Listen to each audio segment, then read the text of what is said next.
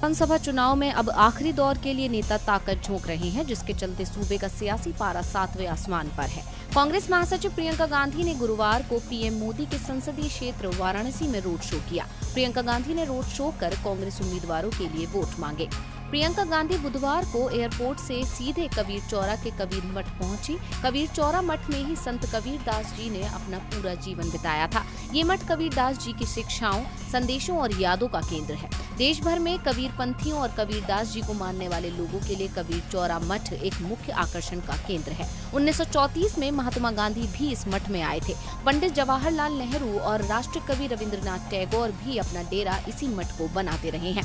कबीर चौरा मठ जाने के साथ ही सोनभद्र के ओबरा में प्रियंका ने जनसभा को संबोधित किया, जहाँ उन्होंने किसानों, नौजवानों, छोटे व्यापारियों और महिलाओं को मज़बूत बनाने पर ज़ोर दिया है।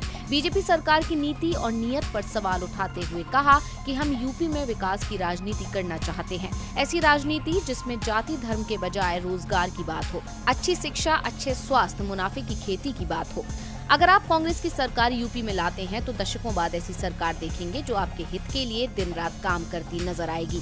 प्रियंका ने युवाओं के लिए भर्ती क्रांति लाने की बात कही। ओवरा के बाद प्रियंका ने सकल डीहा में जनसभा को संबोधित किया। पीएम मोदी के पहुँचने से पहले ही बीजेपी को चुनौती देने के लिए कांग्रेस महासचिव प्रियंका गांधी काशी में डेरा डाल चुकी हैं। यूपी के अंतिम चरण के चुनाव प्रचार खत्म होने तक प्रियंका गांधी काशी में रहकर कांग्रेस के चुनावी प्रचार को धार देंगी। इसके लिए उन्होंने वाराणसी के ऐतिहासिक कबीर मठ में डेरा डाल रखा है, जहाँ से प्रियंका ने काशी ही नहीं, बल्कि पूर्वांचल को सियासी संदेश देने का दाव चला।